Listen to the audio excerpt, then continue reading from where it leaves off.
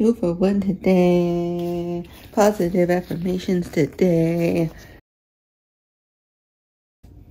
Are you ready? I'm so ready for this video.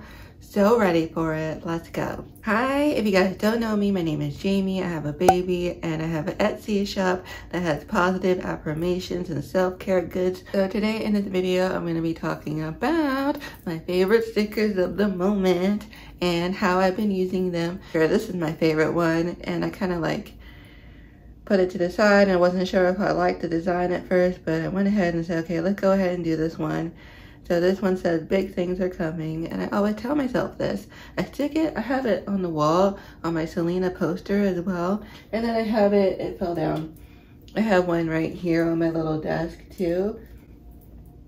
Um, I'm always telling myself big things are coming because it gets me excited about things because I'm somebody who gets bored easily and I also love shiny, sparkly, holographic things. So that's why I designed the sticker. So yeah, big things are coming for me, for you, for everybody. And I keep saying that to myself in my head, even on my worst days, like, okay, it's all right. You're fine. Everything is fine. Okay. so that's that one.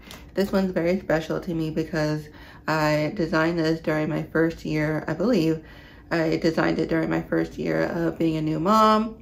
And, you know, the struggles of being a new mom is like, oh, especially if you're breastfeeding, because I breastfed my baby for about a year and, you know, everything was new. And so I just kept telling myself to do it with grace, okay? Do everything with grace, whatever you're doing. Doing dishes, I like to think of doing dishes as an example. That's what comes to mind for this one because, you know, I don't know, it just stuck in my head. And so I decided to make a sticker out of it, do it with grace. Grace, stick to somewhere where you will see it and it will be that reminder for you to always do things with grace and with love because I put a little heart down there as well. So that's for you. Oh, so nice. Okay, it is so basic, but it's so necessary, okay? Without oxygen, we wouldn't be here, okay? And again, I love sparkly, shiny things, so I made this one into a holographic and this is my cursive. So um, yeah, this is your reminder to breathe. You could put it on your phone case. All these stickers are waterproof, scratch resistant, and sun resistant. So you can put them anywhere. And um, I think it would be really great on like a mirror. Like if you do like mirror work in the morning, like doing your positive affirmations, you can put them on like your uh, bathroom mirror or I have this little makeup mirror on my desk here.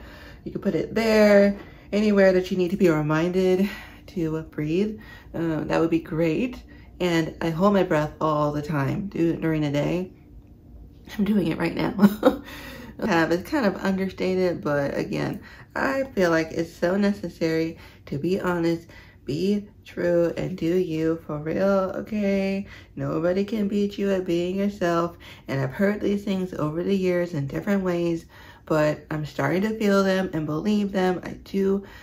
Yeah, so yeah, do you? I made this vision board video like over a year ago on my channel and uh, one of my goals was to like be more of myself and to show my personality and just to be consistent with who I am and how I feel about things and be honest about things because I struggle with that and I'm still struggling with that, but not as much, but it's a process.